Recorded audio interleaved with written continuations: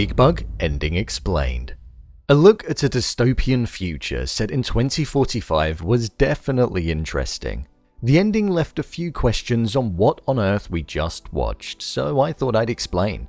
Here is Big Bug Ending Explained. Just to let you know, this video will contain spoilers. After we spent the majority of the movie watching this futuristic civilization with the most ridiculous inventions, being locked inside of a house due to the android's uprising, we saw a Yonyx come round and claim that it was going to arrest them for a number of reasons that happened throughout the movie. We see the group put their bickering differences aside and find a way to overpower the Yonyx.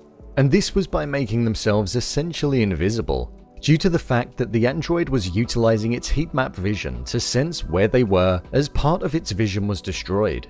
We see the Yonyx eventually get destroyed, this is after witnessing the people in the house having to act like animals on television.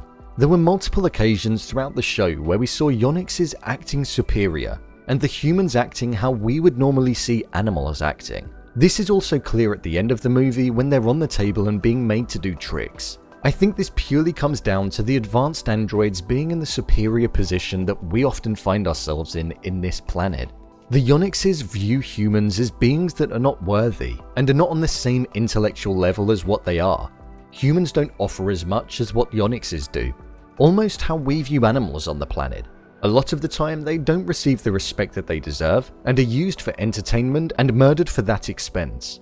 I think it was shining a light on that throughout the movie.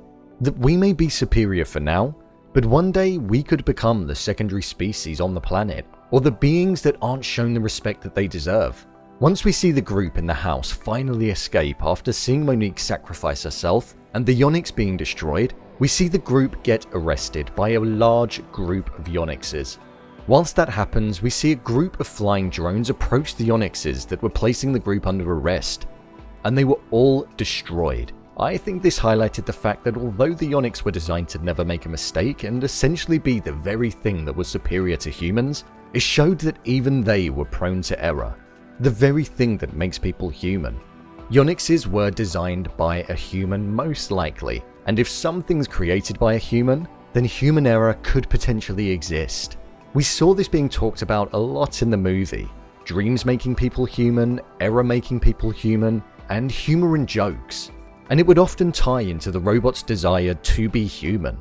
The sacrifice that Monique made showed it really didn't matter what you were to be seen on the same level as one. She had this desire throughout the entirety of the movie to be human. She dreamed of being one, and in the end, she ultimately did the bravest thing anybody would do, and that was sacrifice herself. And it felt like there was an emotional weight behind it. I think the drastic divide in the types of characters that we had throughout the movie showed the polar opposite nature of what makes somebody a human, and that it isn't a one size fits all approach. I think as well the build up to the ending is a look at the direction in which civilization is heading in.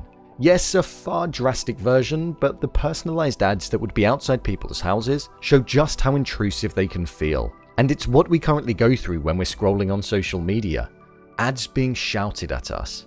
We also saw technology that was created for the most easiest of tasks. It shows the direction that we're heading in and the somewhat lazy society that we could potentially become. When the Yonyxes were destroyed at the end, it almost shines a light on the fact that the mass produced implementation of technology, such as the Yonyxes, are bad for society. We see that human connection in the movie is something that allowed the group to reach success and overthrow the situation that they were in. I don't think there's anything in the fact that Victor and Alice were back together at the end. I personally just think it's how the situation unfolded.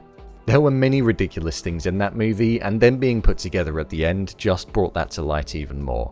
It's an interesting, insightful, yet ridiculous movie that was extremely dramatic, and although very long, it was an experience for certain. What did you think of this movie? Did you enjoy it? Leave a comment down below, and don't forget to subscribe. I'll see you next time.